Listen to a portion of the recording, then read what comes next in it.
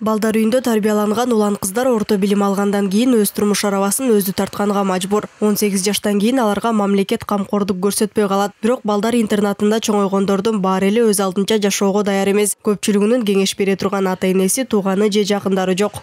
Если эчтекең жок болсо кээ бирөөнүкү ар кандай эми? Психология жактан көп эле кыйналып калат особенно детский домдон чыккандайынчы.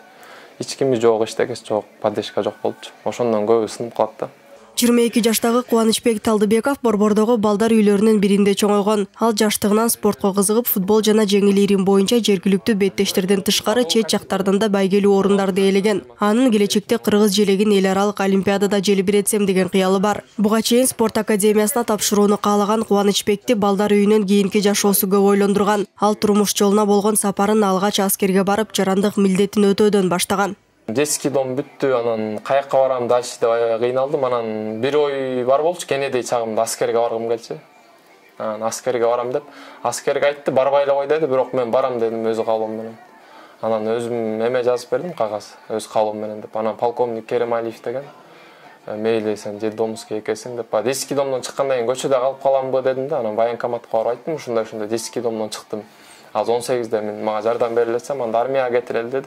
Армияга кетишти армиядан келгенден кийин бияка келдим кубанычбек аскерден кийин кайда бараарын ойлонуп балдар интернатын бүтүрүүчүлөрүнө арналган жатаканага келген. Ал жумушу менен машыгуусуна ушул жатаканада жашап барып келет кубанычбек сыяктуу рухшана назаралиева да дал ушул жатаканада жашап окуйт анын келгенине бир ай гана болду кесиби эсепчи ал кошумча тигүүчү жана ашпозчулук өнөргө ээ. Он алты жаштагы рухшана жашаган жерин абдан жакшы көрөрүн айтат. Анткени достору да мугалимдери да ушул жерде.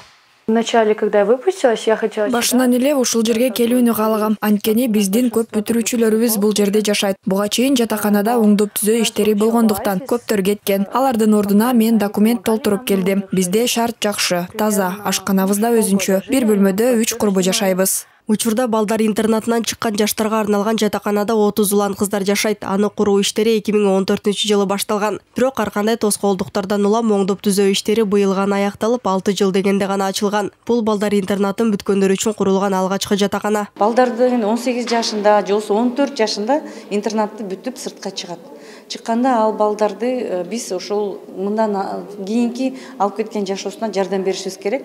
Көбү бишкек шаарына келет. Мына бишкек шаары биринчилерден болуп ошо интернатты бүткөн балдарга атайын жатакана ачып атат. Бул жөн эле бала жатып конуп өзү менен өзү болбойт. Бул жерде атайын ошол мугалимдер иштейт балдарга атайын окууларды өткөрөт жатаканада жашаган балдардын окуган же иштеген жери болуусу керек. Анткени жаштар ал жерде убактылуу гана жашайт. Ал аралыкта окуусун бүтүп жумушка орноштуруу да каралган. Ал үчүн атайын кесиптик билим берилип аларды жатаканага кабыл алуу комиссия аркылуу жүргүзүлөт. Жатакана бүгүнкү күндө жаштар үчүн э, жана мектеп э, интернаттарынан окуу бүтүп чыккандан кийин э, ал жерде он сегизге жашка толуп чыгычы чыккандан улам кайсыл жака баруу керек. Э, ошол балдар көчөдө калбасын үчүн э, убактылуу келип баш калкалай турган жер болот.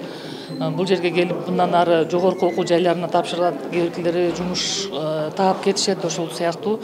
Ошондой бир бул жатакана болуп эсептелинет. Бүгүнкү күндө өлкө аймагы боюнча жүз кырк үч балдар мекемесинде он эки миңге жакын бала тарбияланат. Ал эми үч миңден ашыгы интернаттарда жашайт. Жылына үч жүз төрт жүз өспүрүм интернаттарды бүтүрүп чыгышат. Ошондуктан бул жатакана баардык бүтүрүүчүлөргө баш паник боло албайт Талик Дерматова, Данила Троицкий, Бешенчий канал.